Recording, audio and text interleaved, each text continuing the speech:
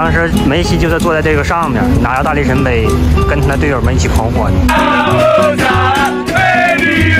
就一球之差，就从这台车变成了这台车。当时夺冠军之后，他们的巡游车全队都在上面。反正当时巡游的时候，他们球员就骑在这上面。我再看看正脸儿，世界杯2022卡塔尔这个车已经被封起来了，然后本来还能上去坐坐的。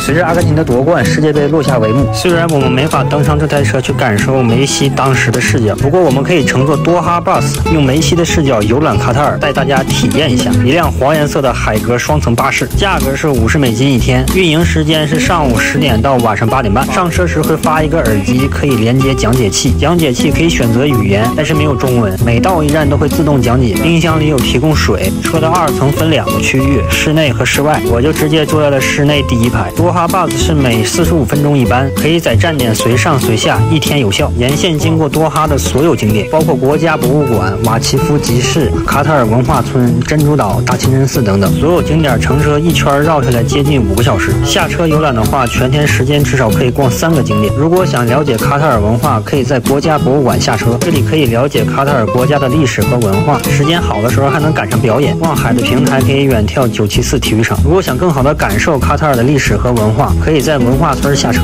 这边的海滩有个特色集市，这里有很多当地的手工艺品和特产，而且海滩上有很多表演啊来还原卡塔尔的历史。在这里你还可以经过国旗大道。想看卡塔尔老城的模样，可以在瓦奇夫下车。这里不仅有当地美食，还可以骑骆驼和笋合影。除此之外，沿线还有很多其他风景，像九七四体育场、游轮酒店、市中心等等。如果想亲亲身感受，那就来乘坐多哈巴士海格的双层巴士。虽然卡塔尔世界杯已经落幕，但海格在卡塔尔的故事未完待续。海格的六千台大巴将继续投入卡塔尔当地的绿色公共交通运营，共同建设美丽家园。